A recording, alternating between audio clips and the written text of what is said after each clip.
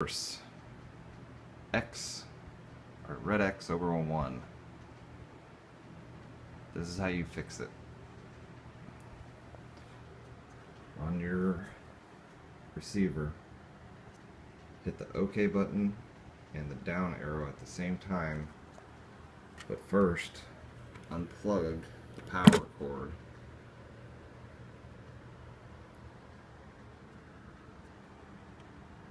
Then when you plug it back in,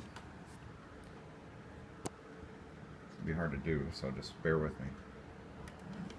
Pressing both of them, plugging it in. I've got the red, or I've got the OK button and the down arrow pressed at the same time. You can see all the lights flashing. Now the screen's doing this. I can let go of the button now. What should happen is a little gear will pop up, the line will fill up across the screen. If you go straight to a blue screen, it didn't work. Should get two gears, another bar that should fill up.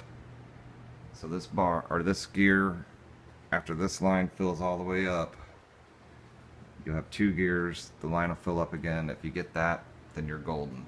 takes about 20 minutes, so I won't waste your time but that's how you fix it. Have fun.